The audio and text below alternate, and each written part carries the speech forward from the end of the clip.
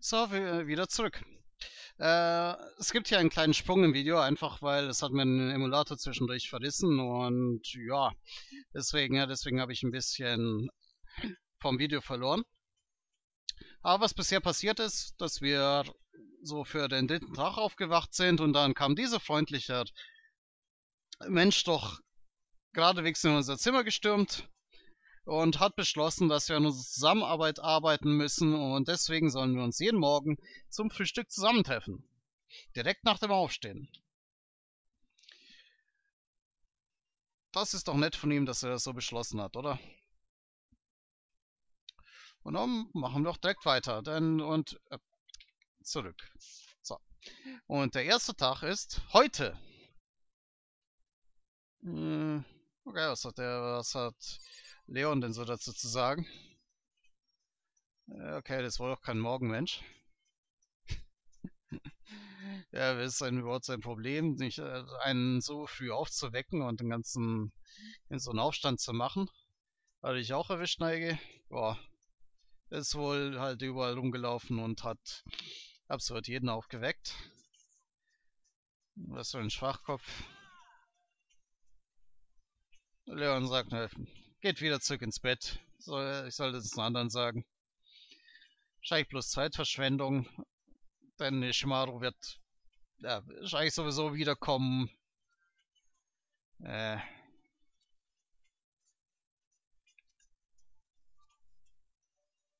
Ja, das... Was ist das denn? Die Elektrik oder? Ja, hier ist alles zugesperrt. Ja, wo wollen wir, genau, wo sind wir jetzt eigentlich? Dann gehen wir auch mal tatsächlich in eine Cafeteria. Ah, was hat's jeden sozusagen? Und wir haben uns ja quasi mit ihr angefreundet. Äh, Fukawa? Was? Gefragt, was du hier tust sollten jetzt eigentlich los. Sie weiß, ich, sie braucht einfach nur ein bisschen Zeit, die Nerven zu beruhigen. Nerven zu beruhigen, wofür? Sie hat Schmetterlinge im Bauch? Worüber ist sie bitte so nervös? Na dann.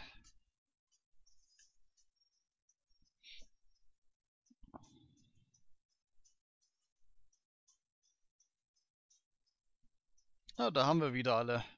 Ja, das fängt jetzt nicht schon wieder mit an, dass ich jeden Einzelnen reden muss, um herauszufinden, was jetzt eigentlich los ist. Ja, okay, Frühstücksversammlung.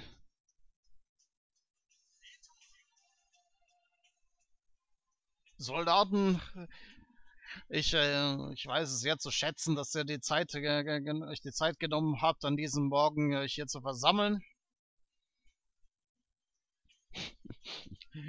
Ich hatte gesagt, dich zu verpissen, aber du hast mich hierher geschleift.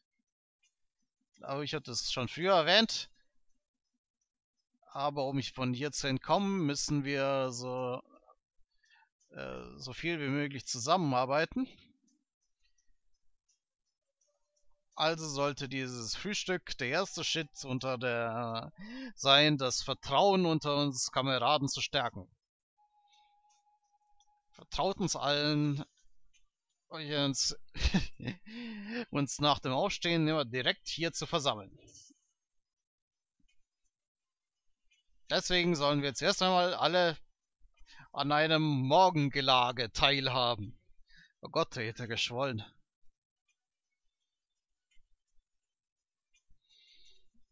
Frühstück mit anderen Leuten? Nervös, das ist mein erstes Mal. Erstes Mal an anderen Leuten zu.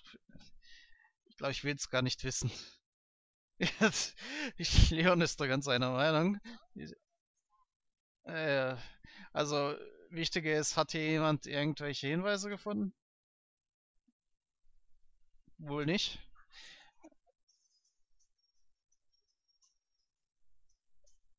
Okay, also ich glaube, sie wollten so mit der Kunst schon so ein bisschen bemerken, dass, beziehungsweise bezwecken, dass man bemerkt, Also auf dem Magazin sieht es schon deutlich anders aus. Also, aber ja, wir sind keinen Shit weitergekommen.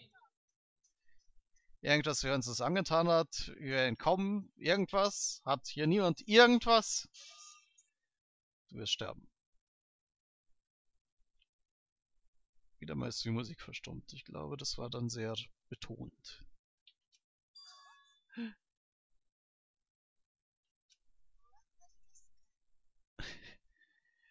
Deine Schwäche, ne, deine Schwäche allen zu offenbaren, wird dich umbringen. Von redest du da? Ich werde sterben. Äh, also hör auf mit dem Scheiß.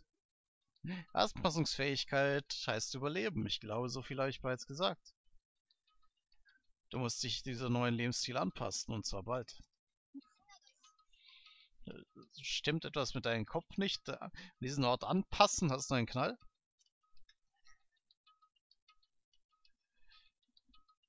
Ja, hör, du tust ja einfach nicht zu. Es klingt so, als will sie ihr Leben. Aber ich... Ich werde das nicht passieren lassen. Ich werde hier äh, rauskommen, egal was passiert. Wie du willst. Also, ja, keinerlei Hinweise. Der Täter ist offensichtlich, er ist verrückt und durchgeknallt und äh, ja.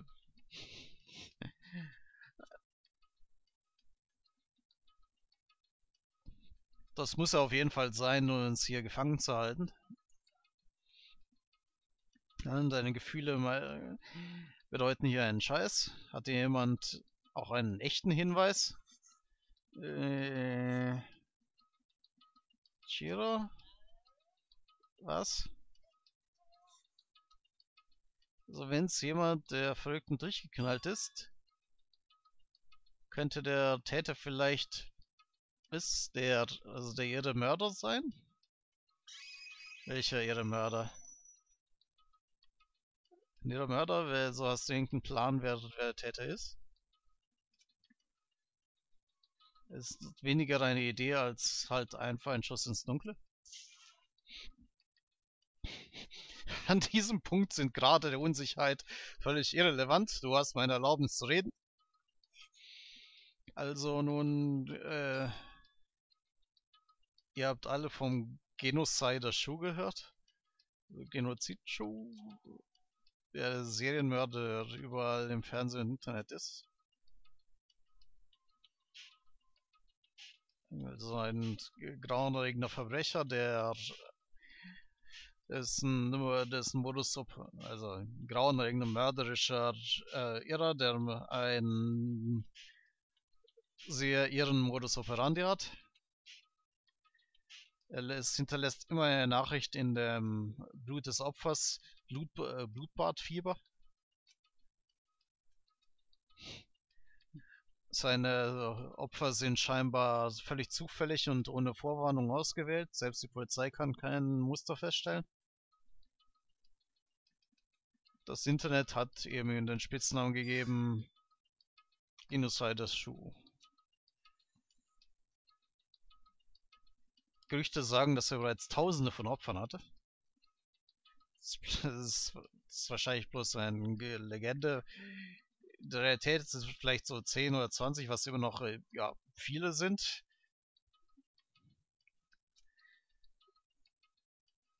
Also er scheint auf jeden Fall selbst für einen irren Mörder sehr abnormal zu sein.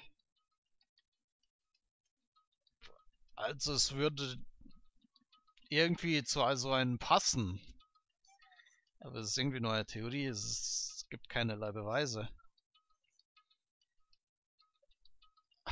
wenn er der, der, Täter ist, dann haben wir ein mächtiges Problem.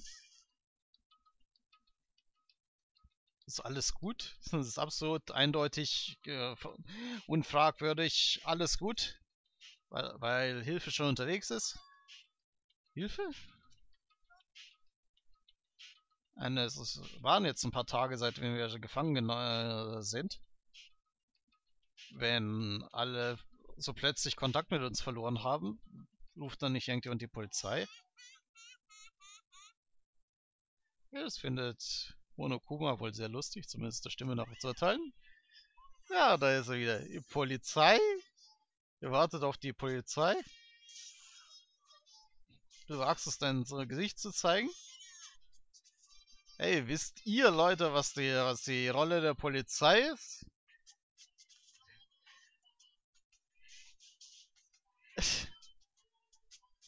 sie, also sie, ähm, Gott, wie soll man es übersetzen?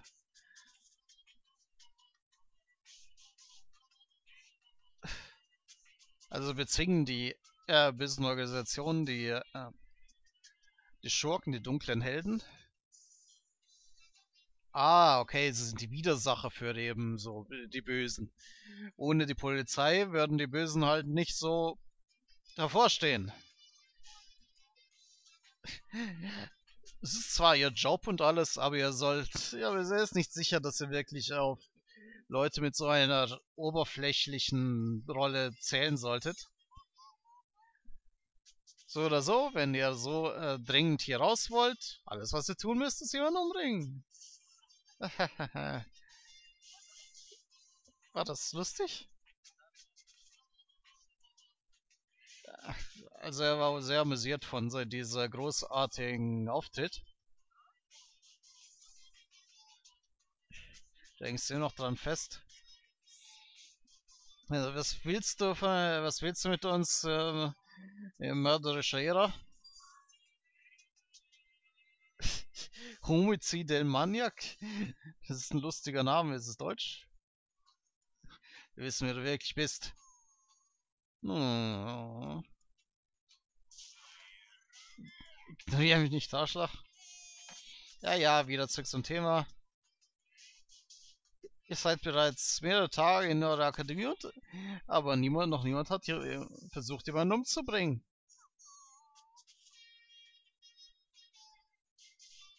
Trotz dem Absturz in der... In, äh, in eurer Ausbildung äh, Leute seid beeindruckend, aber für mich seid ihr langweilig. Egal was du sagst, wir werden niemanden umbringen. Ha, hat's kapiert. Glühbirnchen, das ist eine Erleuchtung. Ich habe schon drüber nachgedacht, wieso gab es noch keinen Mord, wenn wir all die, all die richtigen Elemente hatten? Die Charaktere, das Setting, die Situation. Aber hey, wir haben etwas verpasst. Keine Musik. Was fehlt? Es gibt einen völligen Mangel am Motiv. Das ist aber einfach genug zu lösen. Ich muss euch einfach allen ein Motiv geben. Hier, was für ein Motiv?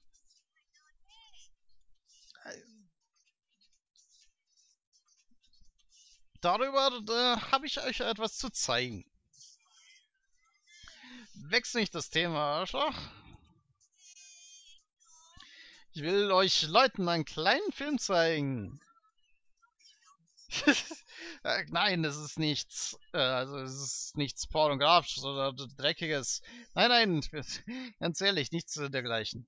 Es ist ein Video von außen. Ein Video von was außen? Du bist so, äh, du bist so ungeduldig. Heb dir den Spaß auf, wenn du das anschaust. Es fängt da also piratenmäßig zu reden. Scarvy Dogs should be. Also ihr sollt euch das Video dann halt in einem bestimmten Platz im Schule anschauen. Dann sollten wir uns das wohl anschauen. Aber davor kann ich eine Frage stellen. Wer exakt bist du? Wieso tust du das? Was willst du von uns? Was ich von euch will? Ah, das.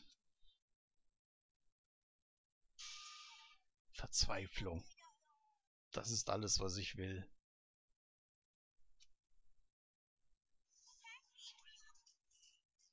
Und mehr als das müsst ihr von alleine herausfinden. Wenn du Wenn ihr die Geheimnisse in dieser Akademie ausgraben wollt, macht so ihr wollt. Ich werde euch nicht aufhalten. Alles in allem, euch äh, zuzuschauen, der wie er panisch versucht, die Wahrheit auszugraben, wird ein aufregendes Spektakel. Bären wollen einfach Spaß haben. Er ist weg. Und wieder einmal ist einfach verschwunden, ohne uns auch nur irgendwas zu sagen. Wirklich? Ich glaube, wir haben etwas äh, Wichtiges gelernt. Wir dürfen ruhig die, versuchen, die Wahrheit herauszufinden und wir werden sich aufhalten. Interessant.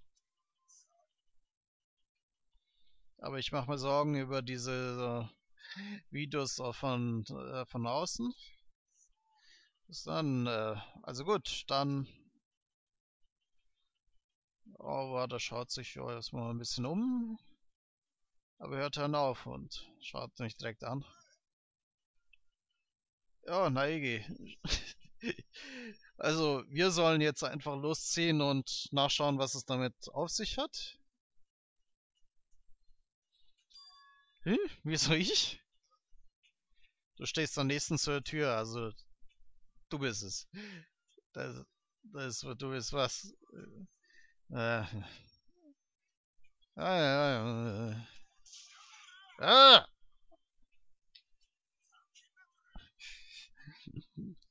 Ich frage ich habe nur noch einen glitzekleinen Gefallen. Wie schwer wird es denn schon sein, das zu überprüfen? Ich gehe schon. Danke, ich schulde eine. In dem Fall gehe ich tue, es ist gefährlich allein zu gehen. Okay, es ist, klingt gut. Wir zählen auf euch. Wenn irgendwas passiert, einfach noch Hilfe rufen, er wird dann sofort da sein.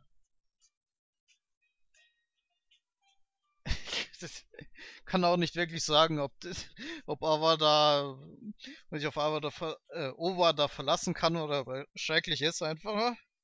Vielleicht keins von beiden.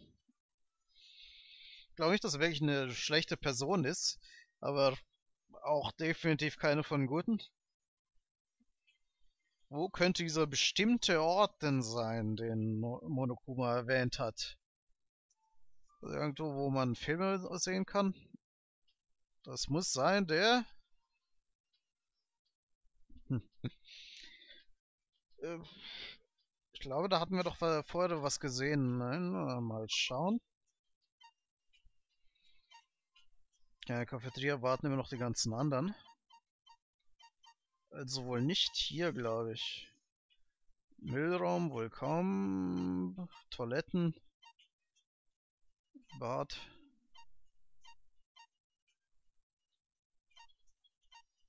Küche, Lagerraum.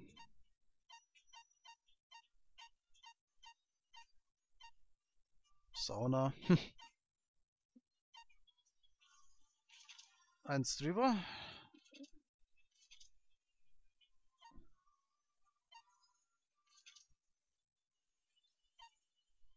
Äh. Ich frage mich ehrlich gesagt, wieso es hier überhaupt so ein Krankenzimmer gibt. Eingangshalle. Ah, der Schulladen, da wollte ich auch vorbei. AV-Raum. Das müsste ja wohl das dann sein. Und die beiden Klassenzimmer.